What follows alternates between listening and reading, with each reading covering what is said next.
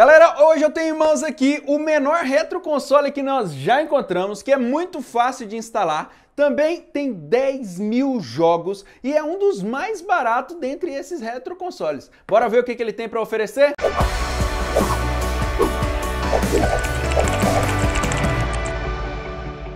E aí, internados, tudo tranquilo? Aqui é o Rondes trazendo para vocês mais um vídeo. E hoje pra gente fazer um vídeo sobre esse carinha aqui, que não tem marca, né? Ele só tem escrito aqui 2.4G wireless, enfim, um monte de coisinhas que eu já vou mostrar para você. Mas o grande destaque desse cara é que ele tem 10 mil jogos, é muito pequeno, muito portátil, então você pode carregar ele aí facilmente. E aqui dentro, meus amigos, já tem tudo que você precisa para jogar. E ele promete ser muito fácil de configurar, muito fácil de instalar. Então eu vou mostrar tudo isso para você. Se você curtir esse vídeo, já deixa o gostei, se inscreva aqui no Geek Antenado se você ainda não for inscrito para ver mais vídeos como esse e muitos outros conteúdos bem legais. E segue a gente lá no Instagram também, que todos os dias eu abro caixinha de perguntas para tirar a sua dúvida. Responda os comentários aqui e responda as tuas dúvidas lá também. E para você que tá na dúvida aí, ó, esse pacote aqui ele demorou 24 dias corridos eu comprei ele lá na Banggood. Vou deixar o link e cupom de desconto aqui na descrição para vocês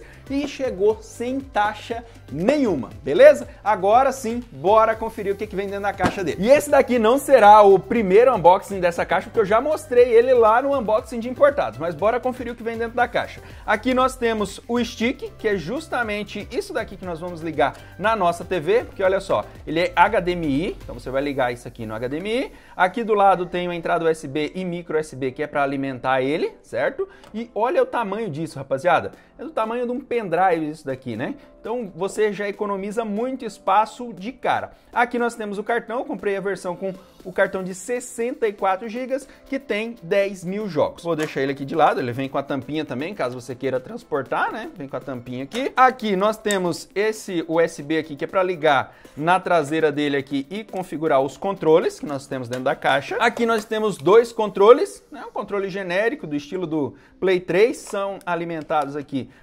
por pilha palito, né? A pilha 3A. E aqui dentro também, rapaziada, vem o cabo micro USB que nós vamos utilizar para alimentação dele. Olha só, é só ligar aqui no USB. No nosso caso aqui eu vou ligar no USB da TV e esse micro USB vai ligado aqui atrás do stick. E nós temos aqui ainda um extensor HDMI. Olha que legal, que você pode ligar direto no HDMI, mas se a sua TV fica muito apertada, muito ruim ali para você ligar, você tem um extensor HDMI, o que é muito prático, né? Muito bom, muito bem pensado nesses casos. E aqui está o outro controle. Aqui eu falei para vocês que vem tudo que você precisa para jogar. Na verdade, a única coisa que falta aqui é um par de pilhas palito, né? Pilha 2A que não vem incluso. Mas fora isso, meu amigo, é só colocar a pilha aqui e jogar. Então nós vamos configurar ele agora para você ver como que é fácil. E aqui, rapaziada, deixa eu mostrar para vocês aqui como seria usar o extensor. Nós vamos colocar aqui essa parte no HDMI, esse daqui vai ligado lá no HDMI da TV, certo? E aqui, vamos desenrolar aqui esse cabo. É o cabo micro USB da alimentação dele. Vamos ligar aqui na traseira dele, beleza? É assim que ele vai ficar alimentado. E esse daqui, opa, tá quase fugindo, é o USB dos controles, né? Que vai liberar sinal lá para o controle. Agora eu vou plugar ele aqui na minha TV e colocar para funcionar. E o detalhe interessante aqui é que esse controle aqui, né? Isso aqui é o receptor dos controles. Você pode ligar também no seu computador, se você quiser, que deve funcionar perfeitamente. Bom, rapaziada, aqui eu tive que encaixar o adaptador primeiro e aqui a parte de alimentação, né? Então vou ligar essa parte aqui certo? Ó, plugar no HDMI, é o adaptador, né, o extensor do HDMI. E aqui eu vou ligar o micro USB. Pronto, já alimentei ele. Agora é hora de ligar. É claro que depois eu vou tentar esconder ele um pouco melhor. É claro que se você tem mais espaço, você pode ligar direto isso daqui na TV, não precisa usar o extensor. É que para mim ficou meio difícil o acesso lá, você pode deixar ele mais escondido aqui. Ó, virou, pronto, resolveu o problema, escondeu o fio. Coisa linda, maravilhosa. Agora, bora ligar a TV e colocar isso aí para funcionar. E olha só, rapaziada, só liguei a TV, né? Vou vir aqui, escolher o HDMI e olha aí, velho, já apareceu de cara nos jogos. Olha que coisa linda. Então agora eu já matei uns controles ali para conseguir pilhas, né? Então vou colocar duas pilhas aqui. Deixa eu fechar aqui. E aqui, ó, tem um botãozinho de ligar aqui, ele tá no on. Eu vou desligar, ligar novamente. Ó, já apareceu ali, mode, power, tem duas luzes aqui atrás, vamos ver? Funcionou, pronto, tá funcionando. Olha aí, que legal. E aí nós temos aqui, ó, nós vamos deslizando aqui pro lado, era para ter, ah, e aqui, ó. Aqui nós temos todos os controles. Eu não falei para vocês que era um negócio fácil? Vocês viram aqui o que, que eu tive que fazer? Liguei na TV, liguei a alimentação e aí eu posso usar o próprio USB da TV para fazer isso. Já está alimentando. Ah, minha TV não tem USB sobrando. Aí você pode usar um adaptador de celular, colocar ali que vai alimentar de boa, tá? E tá pronto. Tá pronto para jogar, senhoras e senhores. Olha aqui, ó. Vamos navegar aqui e nós temos 10 mil jogos dentro desses consoles. Ele tem suporte aqui até 40 emuladores. Outro ponto bem importante aqui, você tem o cartão de memória ali dentro do stickzinho que você pode tirar. Ah, eu quero adicionar mais jogos. Se tiver espaço disponível, você pode ir lá colocar no seu PC e adicionar os jogos da sua preferência. Isso tudo muito fácil. Então, agora nós vamos testar o que vem aqui que 10 mil jogos, na moral, eu mesmo não consigo jogar tudo isso. Eu não conheço os 10 mil jogos. Cara, é muita coisa, 10 mil jogos. Bora dar uma conferida aqui, ó. Nós temos Mami, Famicom, temos aqui Game Boy, Game Boy Advance, Game Boy Color, Mega Drive, ah, esse aqui eu lembrei agora, Atari, Play 1 e Super Famicom, que é o Super Nintendo, não é isso? É isso, né? Galera que manja mais aí, olha aí. Ah, tem tudo aqui, ó. E o controle já tá funcionando. A única coisa que eu tô percebendo é que ele é um pouquinho lento quando, ó, foi, né? Mas não é tão lento assim, não. Bem de boa para usar. Vamos indo aqui. E eu vou no Play 1, né, rapaziada? Porque o meu é primeiro contato, assim, maior com os videogames. Foi no Play 1, então vou aqui, ó no Azinho normal, olha ali, ele já tá marcando 3.500 e pouco. Caramba, velho. Ele tá aqui, ó, 3.500. Ah, então tem um momento aqui que eu vou achar todos os jogos. E é 10 mil, ó. 10.226. Eu fui pro final da lista, obviamente, né? Mas você pode ir indo passando aqui. São 10 mil jogos, velho, é muita coisa.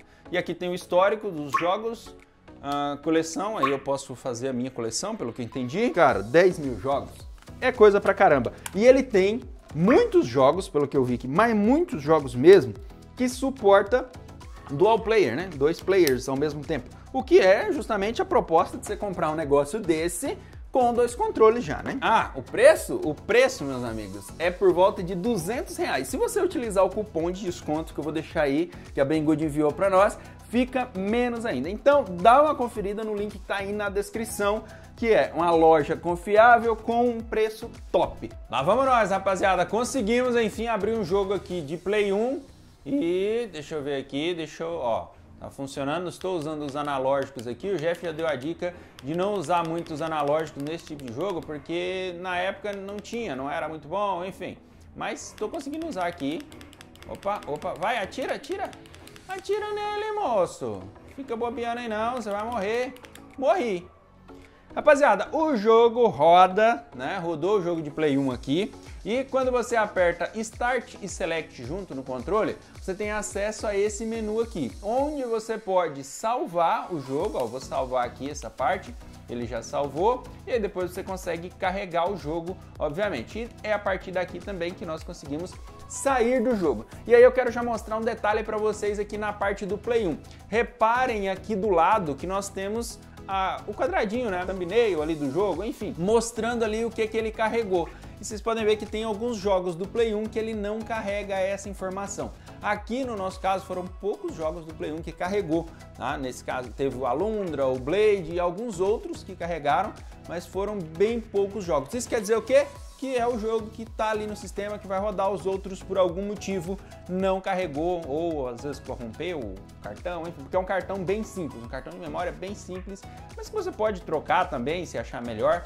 Mas bora ver os outros, né? Porque nós começamos do mais pesado e vocês viram que roda, né? Tem ali ah, os jogos que ele rodou. Mas bora começar por um outro, né? Porque 10 mil jogos, a grande parte desses jogos está nos emuladores arcade, nos jogos mais simples. Vamos pegar aqui o Mami, vamos esperar ele ler, obviamente. E o detalhe muito importante, vocês estão vendo aqui que ele está aberto na TV inteira, é uma TV 4K. Ele consegue projetar até 4K, o que é muito bom. E olha aí, ó, já está funcionando.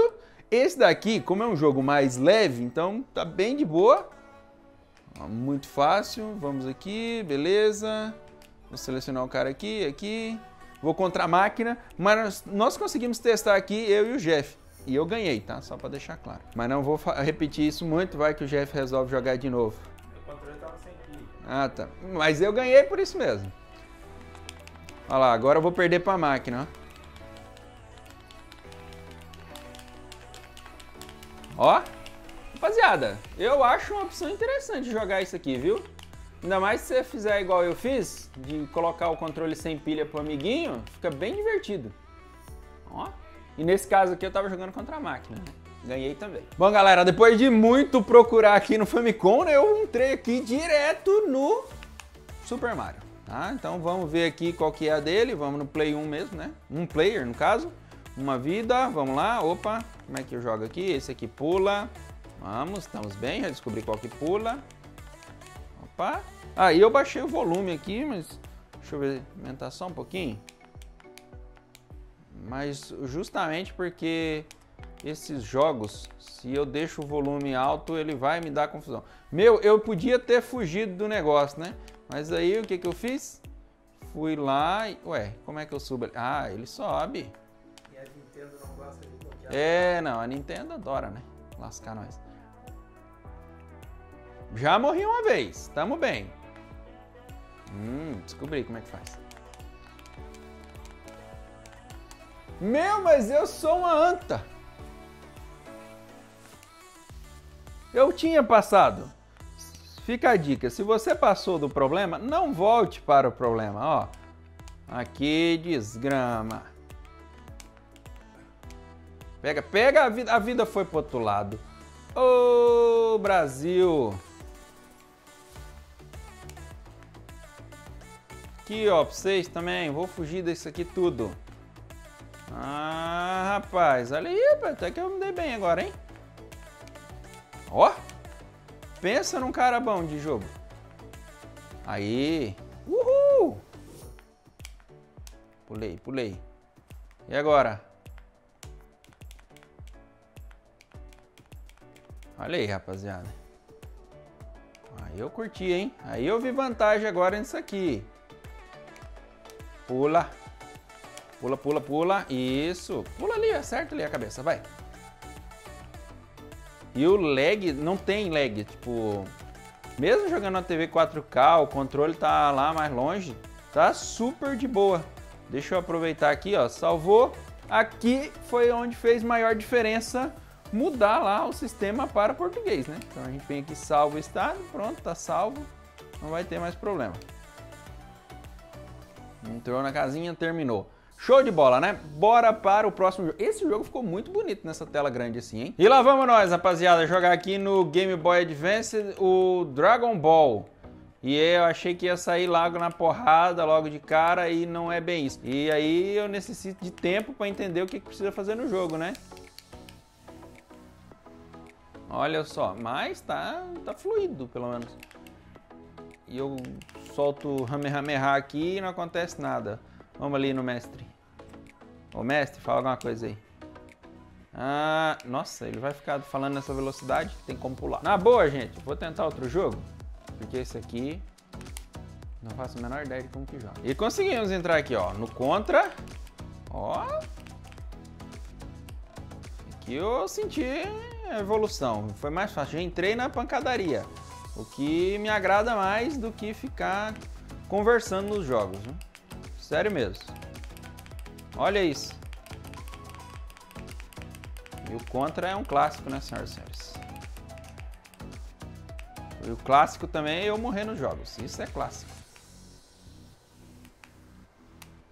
Ô, oh, abaixa e atira nos caras ali, ó. Ihu! Naquele esquema, né, senhoras e senhores? Mostrei um pouquinho aqui pra vocês. Vamos aqui, vamos salvar o jogo e mostrar o outro aqui pra vocês. Só para vocês terem uma noção de como que ele funciona, se tem um pouco daquilo que vocês esperam, né? Bom, rapaziada, conseguimos encontrar um jogo aqui no Game Boy. Era o Game Boy Advance, né? E olha só quem encontramos por aqui. The Rock. E aí eu apertei o botão que não era para apertar. Vamos lá, vamos tentar jogar isso aqui um pouquinho. Olha isso, o... Como é que chama esse cara, velho? O Buffer, alguma coisa Buffer. Ele faz o... coisa até hoje. Pela cara ele, dá, dá pra ver certinho que é ele ali. Altíssima resolução. Olha que imagem, olha que qualidade gráfica, senhoras e senhores. Ó, o cara ia pular na minha cabeça, rapaz. E aqui eu só tô dando um soco. Ah, aqui eu ando pra lá e pra cá. Nossa, apanhei de novo.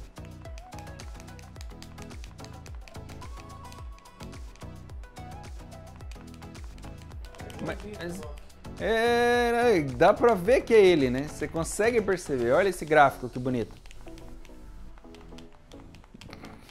Coisa maravilhosa. Você só anda pra um lado, ó, pra cima e pra baixo. O cara me deu um socão na cara. Agora uma cabeçada. E me deu esse giro aí que eu apanhei. Não, eu só sei agarrar o cara aqui. Pronto, o cara sentou na minha cara ali. Poxa. Bom, vocês viram que o jogo funciona, né? Gente, eu falar a verdade pra vocês, nessa, na minha época eu não tinha isso não. Eu acho muito divertido mostrar isso pra vocês, mas eu conheço pouquíssimos desses jogos. Bora lá, rapaziada. Consegui encontrar um joguinho de futebol aqui e estou apanhando. Tá feio o negócio, né? Consegui tomar a bola agora. Ah, agora vai. Agora vai. Achei que ia. Perdi a bola. Esse aqui é, tá rodando no Mega Drive. Olha só que loucura isso daqui. Dá um carrinho, dá voadora nele. Voadora, voadora. Cruzou a bola, descobri onde cruza a bola. Já é um avanço.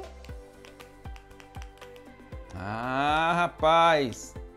Ó, o negócio é divertido, viu? Porque para quem viveu essa época, isso daqui é maravilhoso. Ah, agora eu entendi o que é isso aqui. Isso aqui é para você cobrar o lateral, ó. Ah, quem viveu essa época aí vai entender tudo isso. Eu não. Esse é o grande lance. Toca a bola. Nossa, aí eu apertei o, o triângulo, que eu achei que seria uma bola enfiada, né? Nos dias de hoje é mais ou menos isso. E ele fez foi dar um balão no cara, rapaz. E rapaziada, eu quero contar alguns detalhes pouco positivos a respeito desse carinha aqui. Vocês estão vendo que tem aqui nove consoles dentro dele, né? Primeira coisa, eles falam que você pode colocar o cartão de memória aí no computador e adicionar jogos. Quando eu fiz isso, o cartão nem leu, tá? No computador. Talvez seja uma formatação específica, alguma coisa assim. Eu tentei com vários leitores e ele nem leu ali no meu computador. Então talvez precise formatar para daí sim você instalar tudo de novo e adicionar os jogos. Já fica ciente disso. Em relação aos jogos, teve dois poréns aqui. Em relação ao Super Nintendo aqui, ó, quando você entra, não tem nada de jogo, né? E aqui no Play 1, presta atenção que tem vários jogos aqui, mas nem todos carregam essa miniatura. E quando ele não carrega a miniatura, não adianta porque ele não tem jogo aqui, o jogo não funciona. Ele fica carregando e depois volta para a mesma tela, tá? Então tem esse porém, mas ainda assim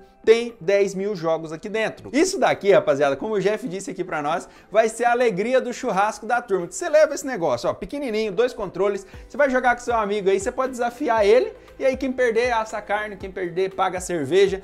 Ah, tem muito jogo aqui para você jogar com um amigo. É muito bacana. E são 10 mil jogos. Eu duvido, eu duvido que você vai jogar todos esses jogos, ou que você conheça todos esses jogos. Eu aposto que você não conhece. Mas se você conhecer, comenta aí. Fala, eu vivi essa geração aí, Ronde, eu conheço todos esses daí. Que, cara, olha só, são nove consoles aqui, certo? Já é coisa pra caramba. Aí quando a gente fala que é 10 mil jogos, é muita coisa. E assim, ó, eu sei que 200 reais não é pouca grana, mas dá pra se dizer que ele é uma opção barata, principalmente em vista dos outros consoles, né, dos retroportáteis que nós já vimos por aí, que custam bem mais caro. Por isso nós achamos que mesmo com esses probleminhas aqui no Play 1 e no Super Nintendo, ainda é uma opção interessante, porque você tem um monte de jogos aqui que dá para jogar com um amigo, dá para se divertir, dá para matar aquela saudade saudade do joguinho mais antigo. mas eu quero saber de você. O que, que você achou desse console?